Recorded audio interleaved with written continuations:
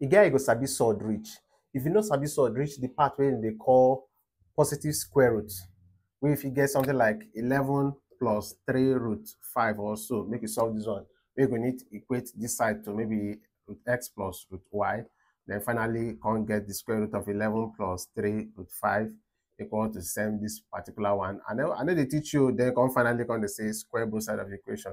Come expand this one come work on I no I never teach you. If you no reach this side where they come for exam, you don't enter problem. oh. Join my class, you for learn all this kind of thing. But I got another part where they call Surdic equation. That surd where they lead us to where equation they do. In fact, any it's equation, now they call them equation, Surdic equation. The part of surd will involve equation. We equal to follow. You, know, you, you understand what I'm saying now? So how you want to solve this one? Even if it, you know go fit pass exam now. I go like for you. so make you run out. This thing go take us two minutes. We don't run out. I see cube root for the left hand side of this whole thing. But this guy not get anything. Make we try see how we want balance everything. So the cube root of k squared minus 1. No verse. I know say no know say na k with that. Na k no be arrow. This kind of bad handwriting. I learned for 200 level. This entire me. So so what you can do for this one? If you want to come out this cube root they am, make this guy day free. You won't deliver this guy, make it day free.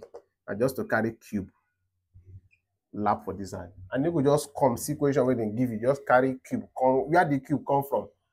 But if you know you- to balance everything, as they bring cube come for this side, bring and come for this side. The reason why we bring the cube now to carry come out this cube root, but you go introduce what you do for left for right. Make everything balance. You know, this one will get issue with you now. So now this guy now will come cancel out with this one. Mean k squared minus one equal to two cube mean two times two times two.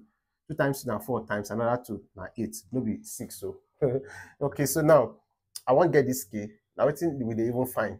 Add one to both sides. If you no like this one, I say add to one side. Carry minus one cross, make it become plus one as they do am concern you. So this one, this one will cancel. K squared will be equal to eight plus one, give me nine. If I say wetin be value of k, all of them go say nine minus nine, nine minus nine. No, they do that kind of thing for my page.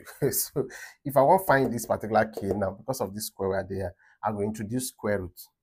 But if I introduce square root because say I want come out this k, for this right hand side, you go with plus or minus. Now rule, now rule, now you don't know the rule. I never teach you that one. Join my class, make I teach you. Make I open your eye for things. This one will cancel this one. When square and square root they meet, then they cancel. The way we cube root and cube they meet, then they cancel. You understand? Now principle for life we will help you make am. now they tell you so. So plus or minus square root of nine or three. Abi because he say the answer now no be that plus three way they talk alone.